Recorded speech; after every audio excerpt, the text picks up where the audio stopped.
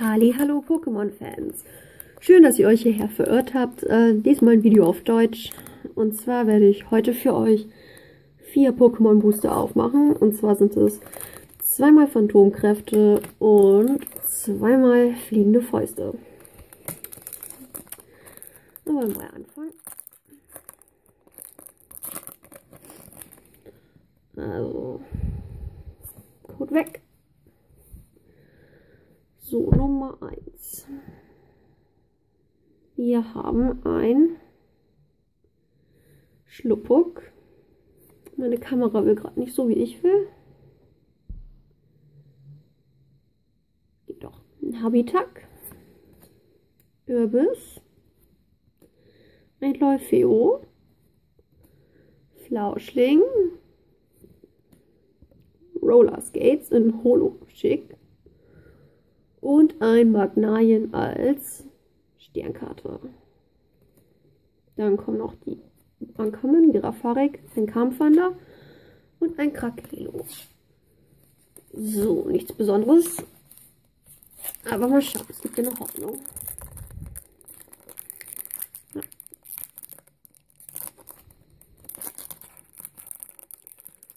Na, müsste nochmal aufgehen. So. Okay, was haben wir hier? Ein Habitak. Iguana. Kramox. Blutzuck. Phineon. Ein Holocarpuno. Hübsch. Oh, sehr nice. Direkt noch die letzte Phase. Ein Tricephalo und Holo. Super schön. Ja, das kann sich sehen lassen. Dann ein Wohin genau, Robo-Ersatz und Roller Skates. Zwei Booster noch übrig. Ähm, ich lasse mal Lucario zum Schluss und fange mit an. Was haben wir Schönes? Ein Nagelotz. Gut, Nagelotz. Ein Evoli. Ich mag Evoli sehr gerne. Surokex, Minon, Scampisto, ein Holo Plusel. Was kommt danach? Oh, schick. Ein Holo Hafnir. Ja, sehr schön.